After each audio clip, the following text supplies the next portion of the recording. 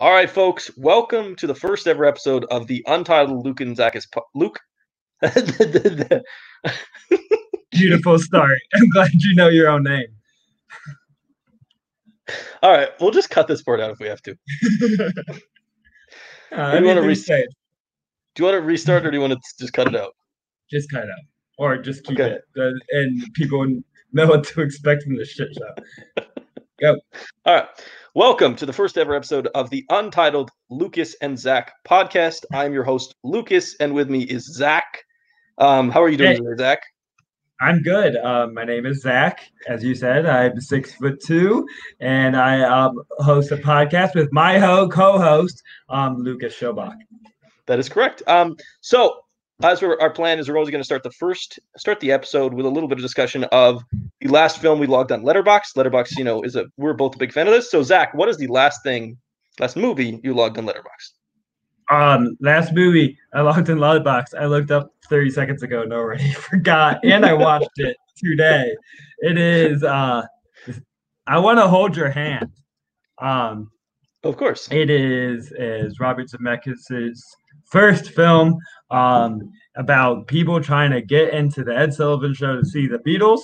Um, it is an exhausting experience. It is basically, if you imagine the fans outside of Ed Sullivan screaming for the Beatles, um, made into a movie for 90 minutes. All right. Well, I have not seen this movie, so I don't really have any comment on this. My last movie I logged was been doing a little bit of an X Men rewatch, and so my last movie I logged was X Men Origins Wolverine, which is, as we all know, a great film with um truly amazing CGI. Like it clearly would have should have won several Oscars for the CGI. Um, yeah, no, I like the first forty minutes, and then it just I've never seen a movie uh self implode as impressively as that movie. It's kind of it's kind of impressive. Um, I saw X Men Origins Wolverine in the Garrettsville, Ohio cinema, and currently there's a lot of crazy racism happening in Garrettsville, and so that's now how I think of X Men Origins Wolverine. Supports racist cities. Yikes. Um, all right. So you're not here for us to talk about X Men Origins Wolverine. You're here to talk for us to talk about Big, which is, of course, the 1988 Tom Hanks film. Wait, why are we watching Big? Says everybody that's tuning in. I know, okay, this is a- of a podcast. well, let's explain. So, our plan is to cover um, film looking at a month's worth of some kind of topic. And the first topic we're going to cover is the career of Tom Hanks, because who doesn't love Tom Hanks? And also, Zack has been watching all of Tom Hanks recently, and he forced me to watch some of them. So, um, you know, it's a good time to talk about Tom Hanks. Yeah, let's do it. So, uh, first up, Big Zack, for the audience who doesn't know this, is terrible at plot summaries. So, we are now going to make Zach explain the plot of the film Big. Now, the good news is everyone who's here listening to this episode should already understand what the episode Big, what Big is about. You should understand this movie, but let's see how uh, well Zack can do it. Zack, hit go, us with go read. IMDb. Um, it is important to know before I start that I literally watched this yesterday, and this is going to be how how strong my memory is. So there's a kid, uh, played by somebody. His mom is Mercedes Ruehl. That is her character name. Um, right.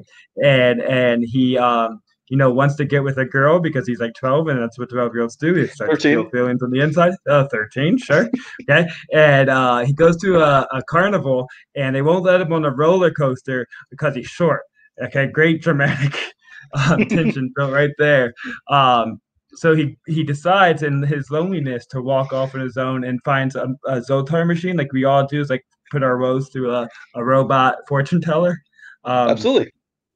which I get worried because they proceed to call it a game and it's not a game, but they they cover that. Um, and it, it, it gives him, or no, he wishes um, that he is big um, because he wants to get with that girl. And if he gets big, I wonder what he means by big. Okay, if he gets big, um, he he will get all the girls he wants. He wakes up Yep. the next day uh, in a Giants hoodie that looks extra big. That's how we know he grew. And uh, he um, his mom freaks out and he runs away and they act like the kid was kidnapped Yeah. and then he goes because he like played a computer game in his once in his life he, he could be a great computer data entry person and, and, and, like as good as anybody else that can get that job. And he works at uh, McMillan Toys. Look at that job, McMillan Toys. Um, it's like I studied for trivia. Uh, and um, he uh, uh, is big at this point. He is full Tom Hanks form, and right. he he gets a, a house by himself. Oh, because he gets promoted to be a toy um like tastemaker. Like he just gets to say what toys are good and bad. That's his whole job. It's like the dream. Um, he does nothing but play um, because he plays piano um, with um, what Robert Loggia, and they're like, "Hey, we have a bond," and that makes him get promoted. That's how I actually got my job. Is they made me play Heart and Soul on the piano um, duet, and when he has a promotion, he wins the heart of uh, Elizabeth Perkins um, because she's like too busy with the workplace, but she learns to have fun. And they have sexy night in their apartment because she's like i i never had a guy that likes trampolines before um so that makes them have sex um but not in the bunk beds but that would have been better. Uh and uh then she finds out he's a kid and they go back and turn him not into a or turn him into a kid no longer an adult by going back to um, possibly the same Zoltar machine. I don't know. All of a sudden, he's back to being a kid and appreciates it all the more. And we all learned to childhood. We should not take advantage of it. Take it for granted. That's all right. Nice. Um, that's good. That's right. David Moscow plays the young kid. Um, it's called Super Loops. Is the uh, ride he can't get on, and he becomes the vice president of like product development. You know, because um, that corporation was clearly going under at some point because that's terrible management choices. That's a fancy word for toy tastemaker. he decides what's good and not well, good. I think everyone in the audience just loved Zack's um, description. Um, it was very interesting. I'll give him a lot of credit for that. Um, so we're going to talk about uh, some things that we think are really interesting and worthy of discussion and big, just stuff we noticed when we were watching it. So Zack, what is the first thing you would like to discuss in big? I think, yeah, the standout for this, um, especially with Tom Hanks getting his first Oscar nominee, is why was this an Oscar nominated performance? And I think the physical acting that he is able to accomplish um, throughout this film is amazing. I wrote lots of notes down. Where are these notes? Who knows? Uh, but just the way his face moves at time, um, especially when Elizabeth Perkins is like trying to be very obvious to hit on him, and he just has this like earnest face that like truly is just trying to be in this like hearing her but has no idea what she's talking about and just trying to be like polite with her face and doesn't realize they're about to have sexy time. Um but he also just looks like so awkward in his body and, and the way he kind of like jumps around at time and you watch him play the piano there's just like an extra movement that kids have in the way they move that we no longer have the energy for that he's able to you know um, still exert. Uh, I, I find it pretty stunning um, is there any specific motions that Tom Hanks that stick out for you? I mean, I think it's really comes down to is he does that thing where he does the puberty kind of move where you just your body has jumped six inches, but your brain is still functioning yeah. in a much smaller body. He does this really good job of always walking like he doesn't understand his size. Like he always looks like he always the way he walks, his shoulders are kind of slumped. He looks like he's trying to be shorter. Like he doesn't understand how to be tall. Like he's now taller than a bunch of people, but like he still feels like that kid. And he's just it's the brilliance of like he really has the kid mind. He has the adult body, but he has the kid's mind. And that's you were talking about Elizabeth Perkins. Yeah. All those scenes where she's hitting on him, he doesn't get it. She's like, he's like, she's like, oh, I don't know if I should sleep over. And he's like, oh, you mean like sleepover? He thinks he's just talking about like, oh, your friend sleeps over and you like jump on a trampoline and play games. He has no idea she's actually trying to hit on him. Even like when she's in the car with him driving to his place and she's trying to tell him all this emotional stuff and he's being kind of a dick because he's a 12 year old and he's like, this is way cooler to be in a limousine. Oh, I can stick my head out the top. Oh, I can pick up the phone. Like he thinks, oh, I can play with the radio. He's just like a little kid. And like that's kind of it makes sense if he goes into toys because his entire attitude towards the world is just I want to play with everything. I want to go on the trampoline. I want to play with the yeah. genie machine. I want to play with everything. Even like his new body, he wants to play with that. He just wants to mess around and kind of touch and play with everything. Even so, when he's biking the carnival to see if the Zoltar is still there, and like normal us, we'll like get off our bikes and look around. He's just kind of like looping around in like these odd little half circles. I know it was um, full. You know, was, like, kid just keeps riding. he almost like falls off his bicycle as a way of getting off. Like he's so awkward at it, and it's just like My- it's really good. in the best my favorite bit in the movie is when he's in the meeting up about the the um, robot buildings that we'll talk about later um, and he just like he does his hands hold up in the middle of the meeting and it's like so awkward because he kind of like tilts his head like am i supposed to do this and just being so patient because he's a schoolboy and this is how he Yeah. was taught to do and in the way and his eyes are so wide waiting for the you know teacher's permission so he can say hey this boat robots are shit Yeah, he also does the thing where he's- they're having the dinner party and they're talking about like the PBS show in Columbus, and he does that thing where like that a lot of kids do, where they just quote a fact. They don't understand the greater context of the fact, or like they're not able to like the guy's trying to have a discussion about like the PBS show and Mhm. like what happened and everything, and he's just like, yeah, here's some facts I learned in history class when I was 11 or something. He's just like throwing that stuff out there. It's just like it really, he's so good at playing I'm a full grown man, but the mind inside me is still like a 12, 13 year old. Like it's it's it's unreal. It's like I want to point out that you say kids do this, that they should say random facts, but I'm definitely sure this is how you like run any date. You just say, "Hey, by the way, Christopher Columbus, uh, he did this." I try not to try not to go with the Christopher Columbus anecdote. That tends to play really bad these days. But um, yeah, Christopher Columbus is not the most popular uh, person in the current context. All right, Zack. Um, unless you have anything else in the physical acting, uh, why don't you talk about your next point? Yeah, my next one, and once again, I will never know character names, so we're gonna call the characters of Tom Hanks and the characters of Robert Loggia. His name's Robert, right? I'm not making this Yeah. No, Uh, and, uh, you quoted the name of his company, so you should know his name too. um, my last words before I die is Macmillan Toys.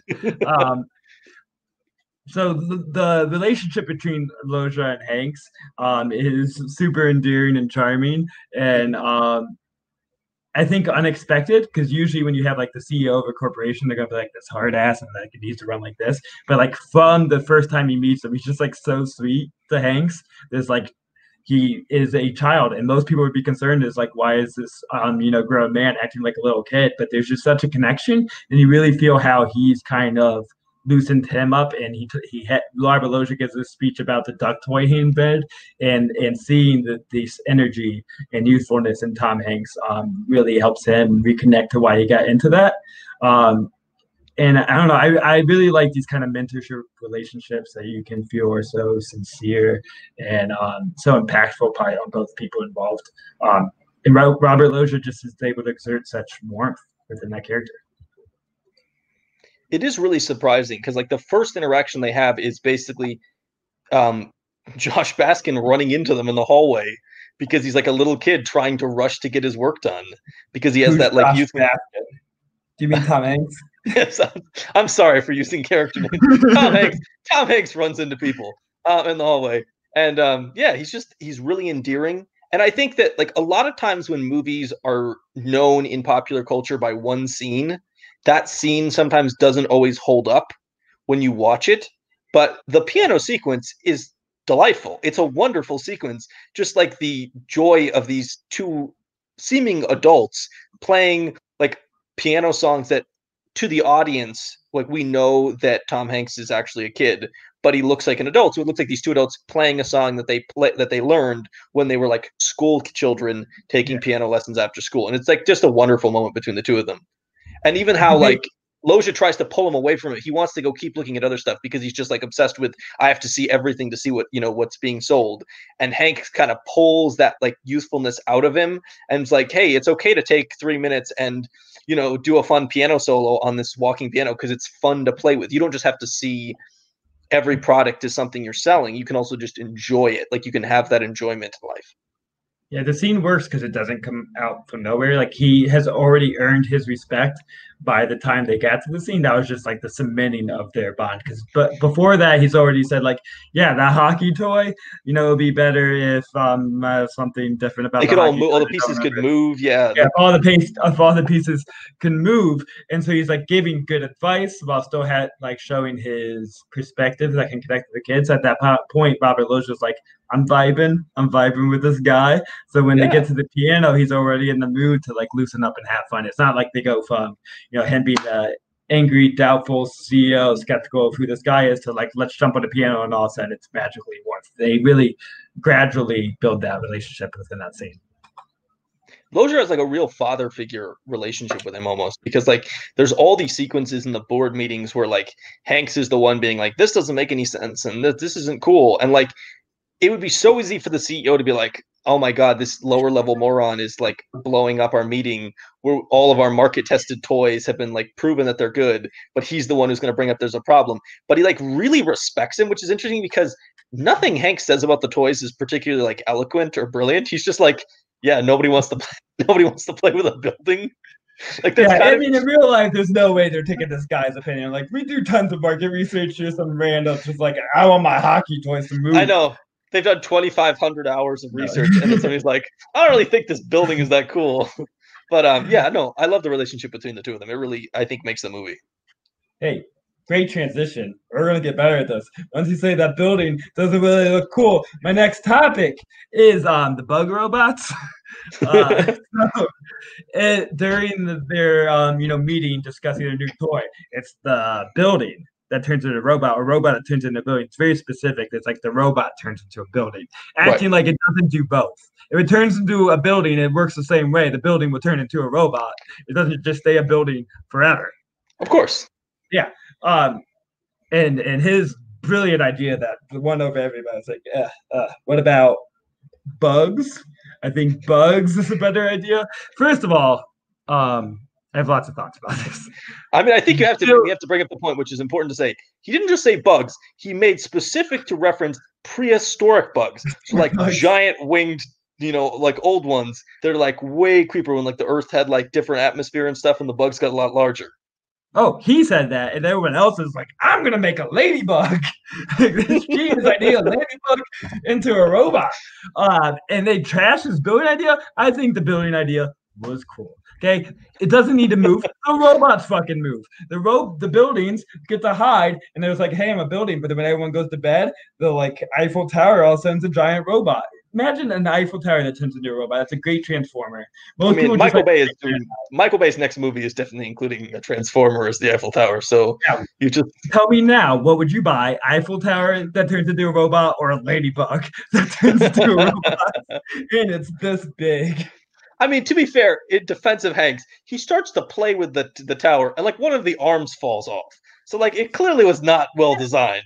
It has nothing to do with the idea, though. It was a prototype. They trashed this idea and they didn't give it a fair shot. But there's like bugs and it's gold. We got I mean, mantis robots. We got uh, potato bug slash pill bug, whatever you decide to call it. Robots. Uh, nobody wants that. Actually, I want a tail bug robot. I imagine like rolls. I mean, I think part of the problem is that the guy suggesting the tower is just the worst. And like no one yeah. wants to defend that guy. So the guy's like, here's my idea. And everyone's like, is there literally any idea? Does somebody want to sell people like rocks? Can we sell rocks to people? Like they will take any idea for anything that guy suggests. But they okay, first of all, I think it unfairly gave me empathy towards something because I'm like this guy, like he lost this great robot, his building robot idea, but also uh, I lost every thought I was going to have about this. um, I don't care. Bug idea was dumb. Building right. idea was. Zack dumb. is not on board with the bugs. He wanted the tower, unless it's a potato bug, which is a very weird specific reference. All right, Zack. Next thing you want to talk about? Hit it. Oh yeah, I have a list. Uh, his apartment. Oh, uh, we have to. Yeah, his apartment one kick ass. But don't you think like nowadays this is just like a normal 28 year old's apartment? like, this is like some like kid makes in Silicon Valley. Every nerd from Silicon Valley has a pinball machine, has a Pepsi machine. There's definitely a trampoline somewhere if they can have it. Like this has became like the modern you know, young guy. Do you think Big started this? Do you think Big started the inability to grow up when you're 20? I think there's a hundred percent chance that there are like YouTubers and TikTok influencers who have houses like this, and you go into them and they've just got like random stuff they could never need. Do you think that they've been bigged? Have we been thinking that these YouTubers oh, wow. are adults, but they've been bigged like 50, this is a, used to be 12 or 13 based on the accuracy of the plot. uh, well, it's, he's 12 and then he turns 13. It was a birthday. In the middle. Logan Paul is definitely a 12 year old that doesn't realize the racist shit they say is racist. Wow. And that's why you're doing this. This is a really good move for the first episode of our podcast is to take shots at people with much larger audiences than ours. okay, but yes, the apartment is great. I, I, whoever decided who built that set, who d- decorated it, is like a genius because it looks exactly like what would happen if you gave a 12 year old 50k and was like, "Hey, go buy everything." He's got. I took like notes on everything. He has a bl- giant blow up Godzilla. Absolutely no reason to have that. He's got a pinball machine that you don't have to pay anymore. He has got a Pepsi vending machine that he throws baseballs at to give himself sodas. He's got a trampoline which is covered with various sizes of balls, so he can play whatever kind of ball game he wants at any moment. He's got a chair that has eyes. Sexy bunk beds, some sexy cars. He has sexy bunk, bed. bunk beds. I do have a question though. I think that you're supposed to have at least one side of the bunk beds against the wall, so you can't like roll out of them. That seemed like a poor design. Yeah, putting him on the center of the room. He doesn't know. It's true. He's not. Yeah, he's 12. He's not the greatest. But um, I yeah, put every bed that I've owned until my recent one against the wall because I would probably fall out. I don't know. I do agree. It is a wonderful apartment. That it looks exactly like what would happen if you let a 12 year old um decorate his own apartment. Um, while I was on topic of bunk beds, we're gonna go real off topic, but I got a bunk bed story that the world needs Alright. to know so they can understand how great I am. So uh, when I was in college, I had a bunk bed, uh, like a lot of people did, and I was the top bunk, and you know the remote was down on my desk for the TV, and it was like too much work to get down. So I decided to uh, lean downwards to grab it off my desk. I am a tall Oh. person, so I feel like that would work. And I grabbed it, but then my weight did proportion. The proportions went too far the other way, and I went Uh-oh. straight down. My arms hit the desk, flipped me backwards, and I landed on my feet. And I've never done anything that great in my life. I drew a picture for all my friends to see to witness the story, and I still tell this on this podcast and every podcast I will have in the future because um, people need to know I'm an I'm an athletic gentleman. All right, the weekly Zack and bed story segment is now over. And Zack, do you have any more comments about the apartment, or can we move on to uh, what I think is actually potentially the most interesting uh, thing you have to talk about with this film?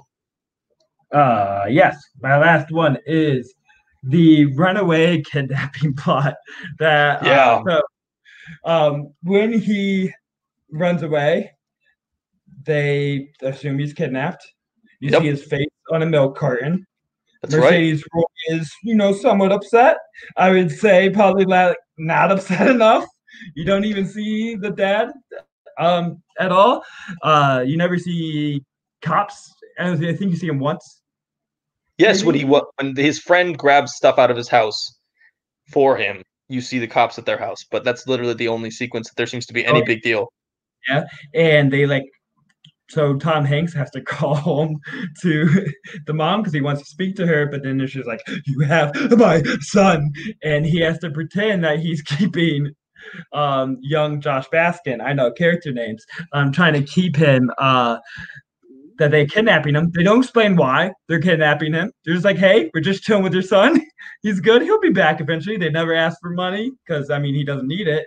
But there's like there's just no reason for them to understand what is happening with this kidnapping. There's just like someone took my son and they're hanging out with him. It's not taken seriously enough. We need No. to see more action taken. Um, I mean, you're trying to make it like comedy. I feel like you could have found a different route than like my kid is kidnapped. Yeah, I I was actually watching it this time.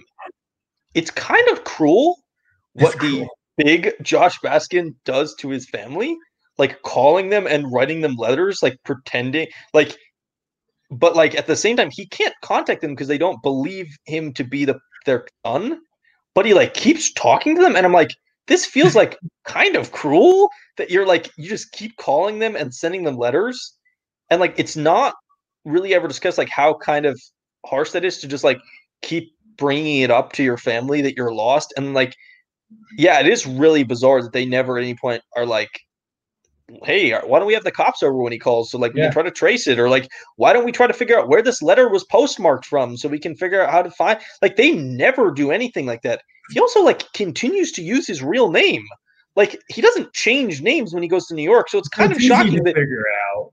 And he's shocking. caught, keeps calling home, they're going to be tracking his phone call, but they're not Right. tracking where he's from. Yeah.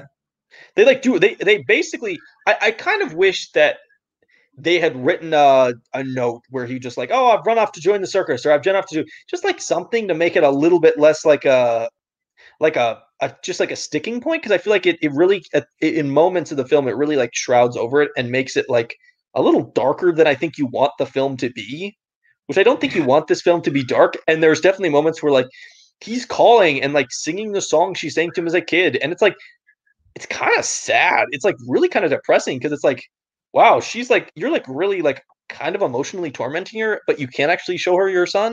It's like maybe you should have just stayed away if you can't actually show them that you're her son that can come back. Like, if, It might be better just to pretend he was dead. Just like throw some corpse out, and then they can at least like get over it. But All right, well, is wondering now suggesting- happening to the kid. it's actually I was suggesting the more dark, uh, the darker, even darker version of this movie where uh, the character dies and then another person named Josh Baskin shows up in New York as a vice president of a toy company, which would I feel like be even even weirder story. But yes, I agree. I agree. That this is probably um, I think probably the biggest. I think one of the two big sticking points in the movie. This is the one. We'll talk about the other one later. But yeah, this is one that just like it makes it darker than I think they want the movie to be. we disagree on the other one too, so that's going to be fun. Oh, But, uh, wow. uh, okay. Uh, um, you know it's a too dark of a plot point when if you were to make like a Lion King one and a half spin-off that takes place in the same time with different characters, and you're just from the mom's point of view, you're basically making prisoners. So you're just with when the when the spin-off movies, you got prisoners and big, and they exist in the same world. Uh, you know you had a problem there. All right, and uh, great point. I want to talk about Josh's eating habits. So, not just the fact that he buys a ton of junk food with his first paycheck. That's like all he does. And remember, don't eat the pork rinds; they make you sick. Um, he has a really interesting habit of licking the filling out of any kind of food he's eating. So there's a scene where he's sitting in his room at the hotel and he's eating Oreos like a weirdo, where he's just licking the filling out and throwing the cookies on the floor. Which I feel like like this is pretty normal though. I feel like there's a bunch of weirdos. I don't do it, but I feel I like, feel like I feel like you could you could you, you should you can just eat the filling. Or you can like, you know, get rid of one of the cookies and double stuff them yourself. But I feel like you don't just throw it on the floor. And then he goes to the like the gala, like the big party for his company. yeah. And he's just like licking cream cheese out of a piece of celery and then just dropping the celery on the table. He just and again it kind of goes back to it. He really is a 12 year old. He's just like Yeah. he doesn't he's a 12 year old eating Oreos and he just throws them on the floor because he's like, well, my mom's gonna come clean them up, isn't she? Like, I'm a 12 year old. I don't like do this stuff or like he's just at the party and he has like terrible table manners and is being kind of rude and like no one would want to eat near you if you're like, you know, partially consuming food and then getting rid of it. But you're He's a 12 year old. beluga into uh, his hands. Um, Oh yeah, he really should not have tried that. can I say this almost made me completely on Josh Baskin and wish he never got back to his youth and his life was ruined because he and not that this isn't realistic, but um picky eaters are assholes. And when he's not like able to appreciate this probably delicious beluga. I didn't know you could eat beluga, but like I don't want it. Uh and he's like puking it into his hands. I'm like, chill out, you can at least swallow. Calm down, you're being a dramatic asshole kid. And um if Theo acts like that, my son Theo, when he is 12 years old, that kid is gone. he is off to an orphanage. I'm going to fake my own death. And then he gets to go to an orphanage. All right, Zack is getting rid of his kid if he doesn't eat beluga. All right. Um, so actually, another thing I want to talk about is you mentioned this in your plot summary. He goes to the machine and he goes, "I want to be big," which is one of the least specific wishes I've ever heard of. Like they they they infer this to mean he wants to be an adult, and I think at some point they make a joke about him being thirty, but like there are so many different. about his dick. it's definitely about his penis. That is a possibility.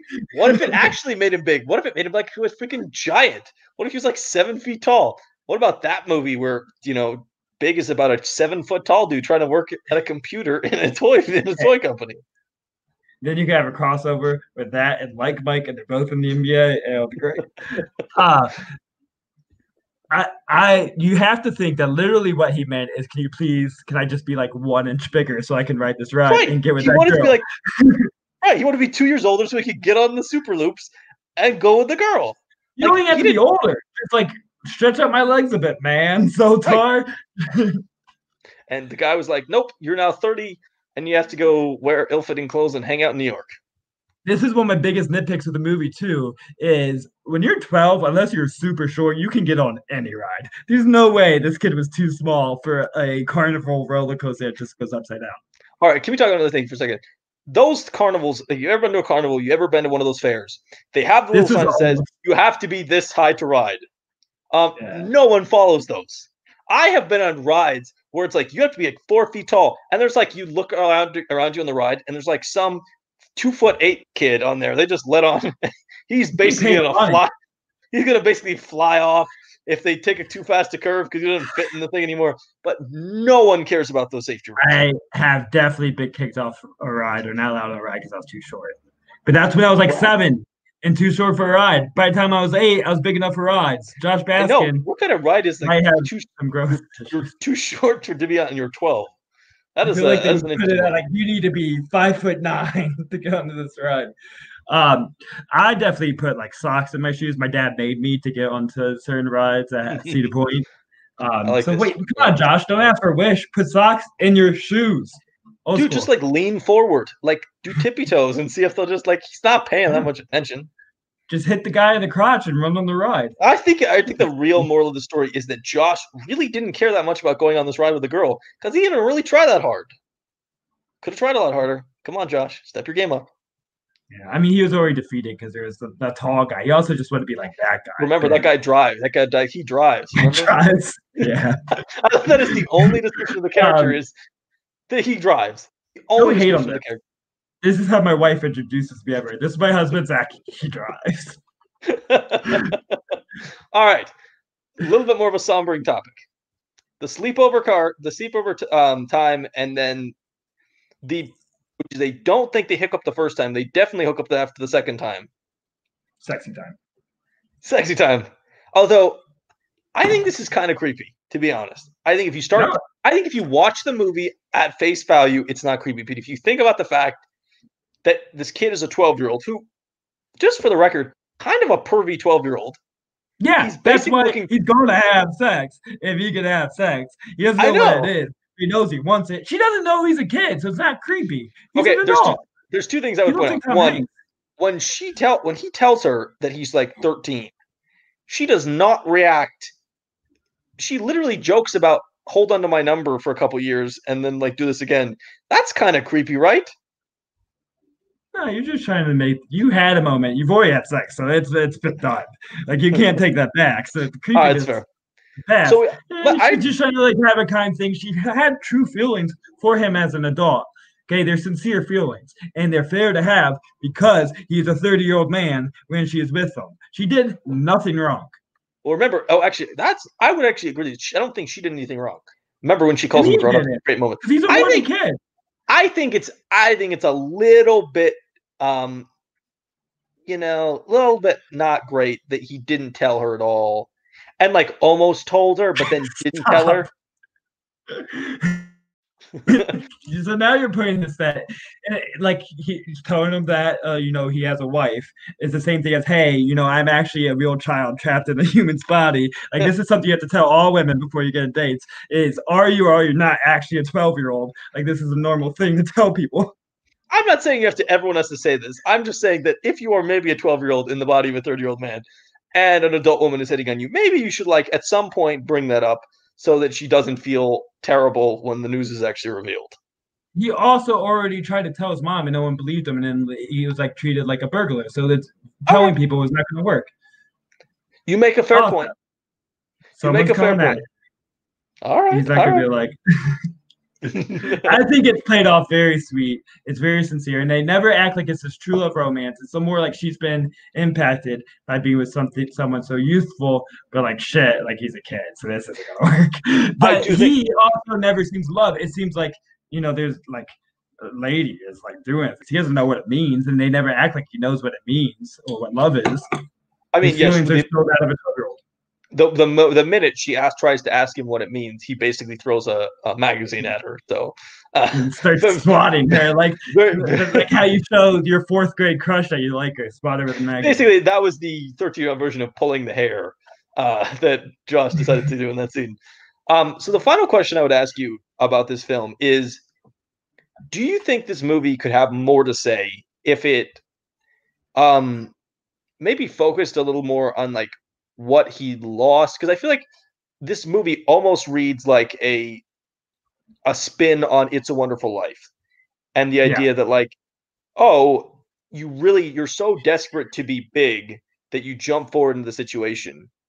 And it feels like the movie he he enjoys being an adult so much more than he seems to enjoy being a kid that it almost doesn't make sense that he goes back at the end.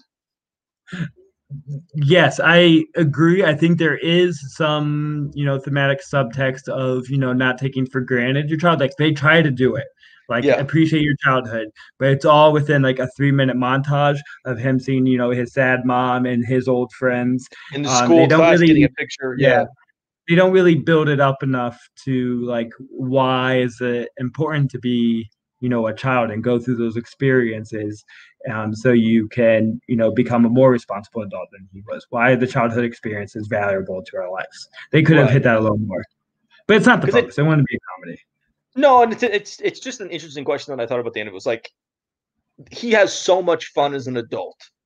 Like yeah. they almost ne- he like he almost never has a bad experience as an adult. Like the worst thing that happens to him as an adult is he has to like play a jerk at like squash I think it's what it's called. Yeah. And, and um, the guy, it's a great scene because he, that's another scene where he's like a child because he's like, you broke the rules. Like you have to follow the rules. He has that like that like child purity of like yeah. you have to follow the rules. If like the rules matter, you can't just like the line's there for a reason. You know, like adults might be willing yeah. to bend it because like oh I don't want to fight about this or like it might be advantage. You know, it might help me out. But he's just like, well, you have to follow the rules. Another great scene. But I just yeah, wanted to think about the I stick with that scene, but also like everyone he comes in contact, he kind of brings the child out of them. He does with you know Elizabeth Perkins' character, he does with Robert Loggia. He does it out of this asshole too, but like the worst possible way, like yeah. the worst version of a child, to where he's just like a bully and starts fighting him. He's like, "No, I'm not cheating. Hit the ball again." And it's like this bratty, competitive kid. Um, so I just like the comparison between those two, you know, versions of adult childhood. It's a good point. You just really kind of bring the child out in everyone. Um, Zack, do you have anything else to say about Big? Um, yes, uh, and this is in my Letterboxd review. Follow at me, uh, whatever my name is. I don't know, Zack Ford. Uh, put in the comments. Yeah. Uh, I think that I wanna. I should have went through the big experiment. I think this should be a real thing. Like we should turn all thirteen year olds um big because as you, this connects to your idea. Because I think there is, you know, a, a lesson learning experience to have I think it, I'm doing most of that work to to in my own head on how you can learn from this. The movie does not tell you that much on how you can learn from being big. But if every shithole 13 year old can experience what it's like to be an adult, it'll be like your your uh, pubescent Rumspringa. Uh, you get to go and live the life as adult. And you can choose if you want to go back and you know experience childhood and teenagehood um, in the right way, or if you're like, you know what, I got I got it good. Uh, and I think it will create more thoughtful, responsible humans. So my proposition is we make um, big machines happen. I actually think this is not a bad idea because there's a lot of people. I think you spend a lot of teenagehood obsessed with wanting to be the next age, and then at some point you realize, oh wow, like life is different as you age, but it's not like it suddenly becomes ten thousand times amazing. Like I feel it would be interesting to send to do like a more realistic version of Big, where you send kids to thirty and you're like, "Hi, you're thirty. Here's a really boring job you don't like. You have to work all the time. Like you're like the plant manager at a factory, and it's just boring and generic, and you have to look at yeah. spreadsheets all day. Like rather than like the the big experience where it's like, oh, he's he basically gets to do a kid's job. Um, like really be interesting to see like, oh wow, you just have to do something boring and generic for you know five days a week. Let's get rid of eighth grade, get them an internship, and make them live inside prostitute hotels. hey man, it's a religious hotel. yes, it's St. James. All right, so we are talking. We talked about Big as our main film today because we wanted to talk about the 1980s run of Tom Hanks, which is kind of interesting. so I'm going to talk a little bit for a second about. I'm going to give you a quick rundown, everyone in the audience, about what movies Tom Hanks did in the 1980s. So Tom Hanks starts the 1980s with He Knows You're Alone, which is a really generic horror film, and kind of seems like it just wants to be Halloween. Uh, Hanks is barely in the film. He goes to Splash, where he falls in love with a mermaid. He goes to Bachelor Party, where his bachelor party almost ruins his wedding. This movie ages really poorly. Um, please stop making jokes about, oh, I thought I slept with a woman and now it's actually a dude. Not funny. Wasn't funny then, wasn't funny now. Um, the Man with One Red Shoe, where the CIA thinks Tom Hanks is a bad guy because he has mismatched shoes. This movie is nonsense. Uh, volunteers, he joins the Peace Corps to build bridges. Uh, the Money Pit, which is a remake of Cary Grant's Mr. Blandings Builds His Dream House, which is a better movie than The Money Pit. Um, Nothing in Common, which is a father and son movie. Jackie Gleason's final film. Every time you say goodbye, this movie is. It feels like it should be a foreign film, not something with Tom Hanks. He plays an American who joins the British Air Force and then falls in love with this Jewish girl in Israel who is like a, from a sect of the Jewish people who are like from Spain. Truly bizarre movie. Dragnet, which is the buddy cop film based on the radio and television crime drama of the same name. Big comes next. Then we have Punchline, which is Great. sort of a stand-up comedy movie, and then sort of like a Tom Hanks needs to get some emotional maturity. Sally Field is wonderful. Uh, then we get the Burbs, where Tom Hanks thinks the neighbors are murderers. Uh, it was really weird at the time because I was watching at the same time I was watching Texas Chainsaw Massacre, and it basically feels like Tom Hanks thinks his neighbors are the characters from Texas Chainsaw Massacre and then Turner and Hooch, which is a buddy cop movie with a dog, which I actually liked a lot, and I know a lot of people don't, but um, I'm a fan of Turner and Hooch. I like it would have been better if Hooch was a cat. Imagine a cat trying no. to solve a crime. Some no, good action there. How is a cat going to attack people like Hooch does? And Tom Hanks is looking at the cat saying, Hey, you big old cat, stop drooling. This cat has rabies in my story.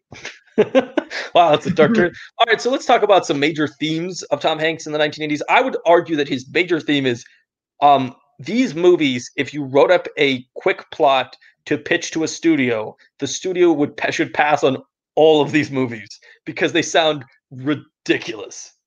Yeah, they're very high. I mean, that's the 80s. The 80s was ridiculous. They're all like very high concept. They were really uh, possibly because of Bosom Buddies, which came in between Splash and um, he knows you're alone.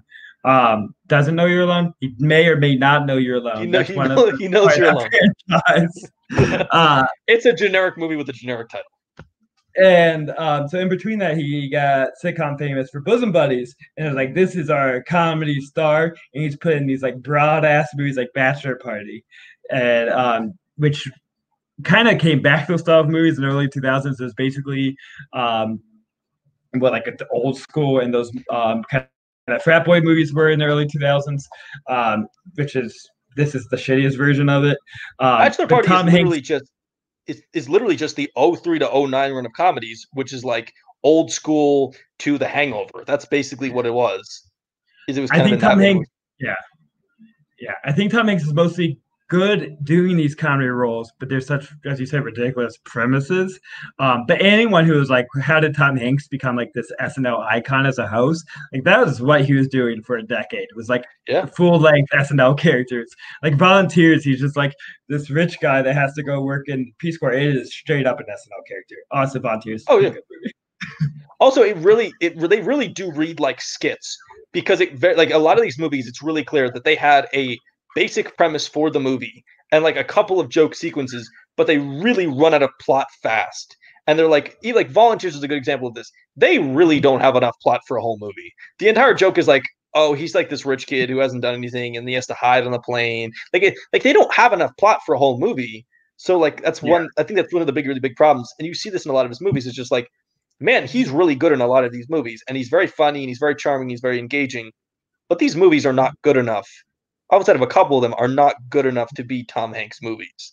No, and I wonder if he had. I mean, like Splash was a big hit, and I and I like Splash, and Big was huge. But if one of these really broad ones, like if Bachelor Party, like critically and financially, was just like a huge success, if that might have changed his career, if he really would have been stuck in the comedy, you know, icon part. Yeah, mm-hmm. I mean, you do have to wonder if, like, if he just if the comedies had just been his thing, because not to foreshadow too much, the 90s is not very similar to this decade at all in terms of what he does. Um, and I think he does a little bit more of like his. I think Big and the Burbs and stuff like that really kind of influences his future movies choices a lot more than the Volunteers, Man with One Red Shoe, you know. Yeah, I think the real turn of when he wanted to have dramatic touch was probably nothing in common, although that movie just doesn't work.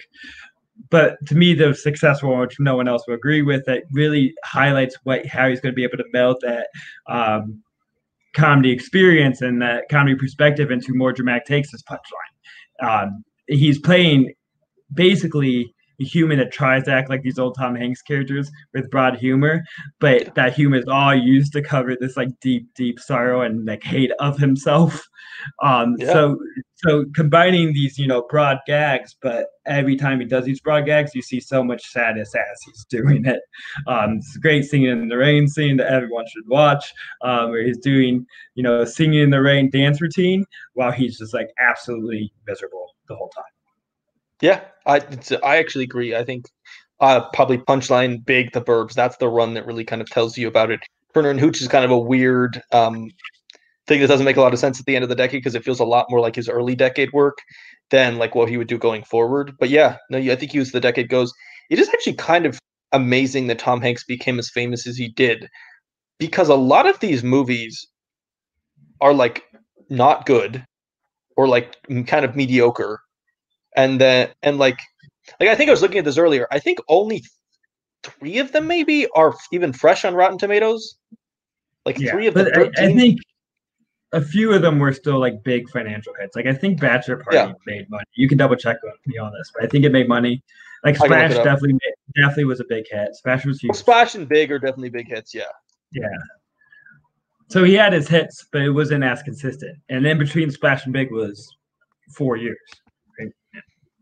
Yeah, and like a lot of those movies in the meantime are just like, why would anyone care about this movie? Like, you know, like, you know, I, yeah. the only reason you're ever going to watch Volunteers or Man with One Red Shoe or Dragnet or a lot of these movies is like, oh, I am specifically going out of my way to watch Tom Hanks movies that he's in because they have almost no like footprint on society. Like no one ever talks about man, the man with one red shoe. That's like, you know, that movie is basically um like non-existent. Um yeah, I guess every Bachelor Party is kind of a hit. every time we think about it, it's the most non-existent movie that any like mainstream actor has ever done. So I, fun fact, I no one knows up. what that movie is. It came out in 1986. It did not receive a DVD release until 2006. 20 years later, it took until the 20th anniversary oh. for them ever to release it on DVD. It would have been real weird if they released on DVD in 1986. That would have been a lot True. better story if they released the DVD 14 years before they were DVDs. That's an interesting point. That's a good point. Um, so I guess Bachelor Party made 38 million on a six million dollar budget. So that's kind of a big hit. But yeah, no, I don't think. Yeah, I think the interesting thing about that is even that there's a lot of people who will you know, drum for different 2000s comedies that are kind of raunchy and crazy. I don't think mm-hmm. there are many people who are like, man, Bachelor Party is really good. And no one else in that movie has ever mattered. That's another thing to point out. Most of his co stars in these movies have never amounted to anything close to what Tom Hanks was able to come by. Yeah, I mean, it's it's really a lot of a lot of people who have really small roles. I mean, maybe Sally Field might be the biggest co-star. It's a lot of people who are at the she end of their run at that time, though. She was already. It's a lot of people. Yeah, it's true. There's a lot of people who are at like the end of their runs. You know, like the Jackie Gleasons and stuff, who are kind of at the end of their run. Yeah, you're right. There is literally no one in that movie. Yeah, he has a lot of a lot of like nobody co-stars. Uh, so um, we've talked about. You have anything however, else to say about Bachelor Party? They give we're both talking at the same time. This makes great podcasting. you can cut the audio and release it a separate podcast, and you can unite it together to make one. Um, Bachelor Party did give us um, Tom Hanks driving a Catholic school bus. As soon as they're away from the nuns, these kids just like lose their shit and jumping everywhere. And um, that's how all school buses are, and that's a great gag. But um, school buses suck, and the world needs to know this. I will also applaud any movie that makes fun of tennis by attempting to turn it into a baseball game. That is uh, potentially my favorite joke in the entire movie, which is saying something because that movie is, for a movie who's trying really hard to be funny, is not that funny. It's real funny for 10 minutes and then it's nothing. yeah, it's also like, it even ends up being just boring, which is like, how do you make that movie boring? Like, I feel like that's the one thing you should not do. Um, Zack, any other final thoughts on the 1980s and Tom Hanks's career for that uh, time period? Oh, I just think it's fascinating how inconsistent his career was there to lead to one of the most consistent runs an actor has ever had. Pretty as soon as the 90s, or not soon, like a couple years in the 90s, and he has one of the best runs ever. Yeah, absolutely. I mean, yeah, I do not think if you, I don't think a person sitting there late 1989 after watching all these Tom Hanks movies, I'm like, this guy is going to become one of the biggest stars and most well-respected actors, and this guy's definitely going to get a bunch of awards. I don't think anyone would have done that looking at that run. And we're going to talk about the perfect movie to, to define his um, great 1990s runs, Bonfire of the Vanities, next week. Tune in. Um, so That's I just have true. to. So please tune in to Action Show. next week we are going to do Apollo 13 and talk about the 1990s in Tom Hanks' career. This is a a really different decade. Not going to go any farther into that because we'll talk about it next week. But um, yeah, very different decade. Um, Zack, any other final thoughts?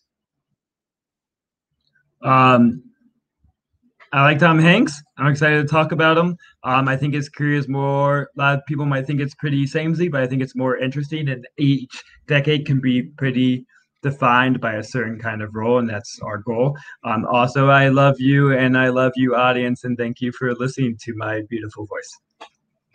Well, thank you, Zack. Um, so that's this week for us, folks. Uh, come back next week for Apollo 13. We would like to thank Michael Campbell, Paulo Yama, Nazario Montenegro, and Mike Hanley for producing our show and being uh, wonderful studios. You know, just a wonderful studio to work for. Yeah, we work for a studio. Yeah producers and executive producers. They put a lot of money um, on the line for this. This is a really expensive uh, podcasting project, so we thank you for listening. Uh, you know, uh, we will get back to you in terms of uh, more stuff with social media and like where you can find the podcast. For now, I'm gonna start with YouTube. See how you guys like it. Um, yeah, throw a comment down below, give us a like, and uh, yeah, just enjoy the podcast. We will see you next week. Blowing a kiss. Blowing a kiss. Thank you, Zack. See you next week, folks.